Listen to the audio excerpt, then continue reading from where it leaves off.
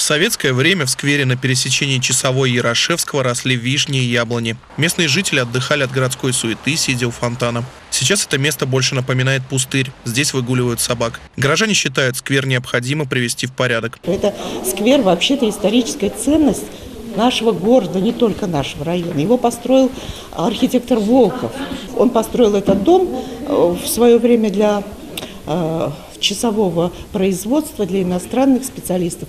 Дом уникальнейший. Согласно дизайн-проекту, в сквере должны заасфальтировать тротуары, установить фонари, клумбы и обустроить газоны. Вторая территория в Октябрьском районе, которую вынесут на голосование, площадка у фабрики кухни. Дизайн-проект включает в себя существующую концепцию сквера. Монумент борцам революции оставят. Кроме того, здесь обновят освещение, установят скамейки и обустроят зеленые газоны. Завершаться у нас данная процедура 25 февраля, по результатам которого будут принято решение об утверждении данных дизайн-проектов, и они допущены до голосования. А голосование у нас будет э, обеспечено с 26 февраля по 1 марта включительно.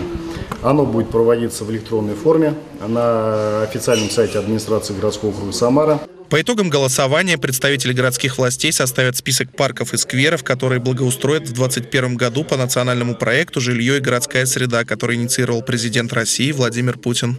Анатолий Головко, Григорий Плешаков. События.